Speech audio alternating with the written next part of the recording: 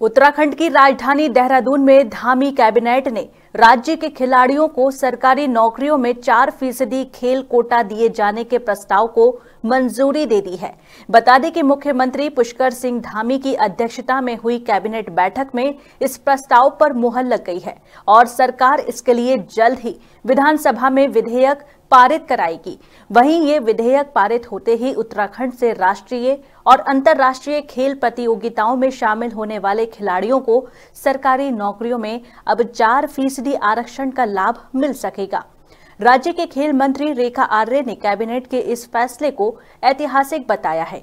उन्होंने कहा कि इससे राज्य के युवा खिलाड़ियों के लिए सरकारी नौकरी के द्वार खुलेंगे और युवाओं में खेलों के प्रति रुझान भी बढ़ेगा।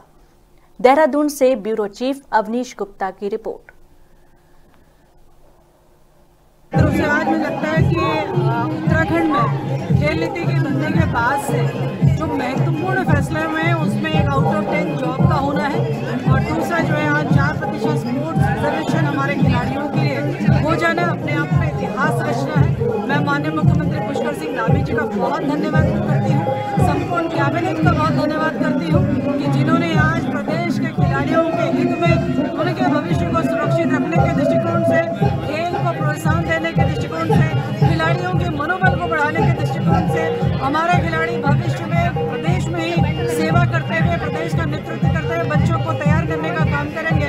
वह इस चार प्रतिशत स्पोर्ट्स रिजर्वेशन से और आउट ऑफ़ टेन जो जॉब है, उसके हो जाने से मुझे लगता है कि और मज़बूत हुआ है। निश्चित रूप से हर चाहे वो बालिका खिलाड़ी हो बालक खिलाड़ी हो, उसके हृदय में निश्चित रूप से आज सरकार के प्रति, माननीय मुख्यमंत्री जी के प्रति एक आशीर्वाद